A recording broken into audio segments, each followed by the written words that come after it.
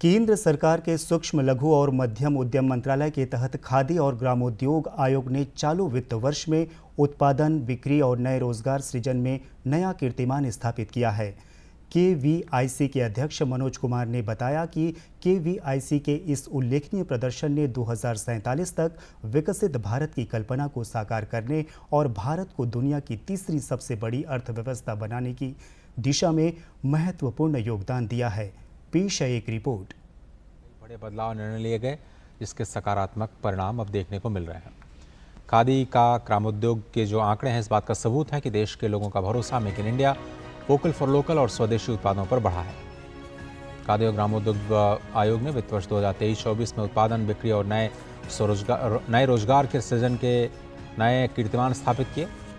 स्वतंत्र भारत के इतिहास में पहली बार के वी उत्पादों की बिक्री साल 2023-24 में एक लाख पचपन हज़ार करोड़ रुपए को पार कर गई।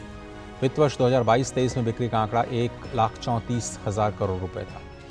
बीते 10 सालों में ग्रामीण क्षेत्रों में कारीगरों द्वारा बनाए गए स्वदेशी खादी और ग्रामोद्योग उत्पादों की बिक्री 2013-14 में इकतीस हज़ार एक सौ चौवन करोड़ रुपए के मुकाबले अब 2023-24 में एक लाख पचपन हज़ार छह सौ तिहत्तर करोड़ रुपए के उच्चतम स्तर पर पहुँच गया है, जो अब तक की सबसे बड़ी उपलब्धि है।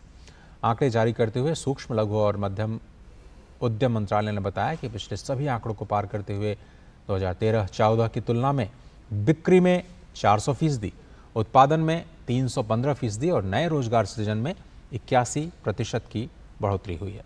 डिमांड बढ़ने के साथ ही खादी का प्रोडक्शन भी बढ़ा। खादी उत्पादन की बात करें तो वित्त वर्ष 2013-14 में खादी वस्त्रों का उत्पादन महज 811 करोड़ रुपए पर था तो वित्त वर्ष 2023-24 में ये आंकड़ा 3,206 करोड़ रुपए पर पहुँच गया जो अब तक का सबसे बेहतरीन प्रदर्शन है।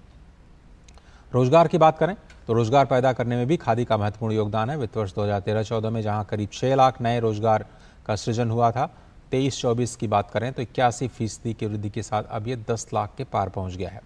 खादी वस्त्रों के निर्माण में करीब पाँच लाख गाँव के खादी कारीगर में शामिल हैं। माननीय प्रधानमंत्री जी के नेतृत्व में खादी ग्रामोद्योग आयोग ने 2023-24 में बिक्री का आंकड़ा पहली बार डेढ़ लाख करोड़ को पार किया है। एक लाख पचपन हज़ार करोड़ रुपए की बिक्री का आंकड़ा और दस लाख लोगों से ज़्यादा रोज़गार। ये पहली बार हुआ है और ये ऐतिहासिक है।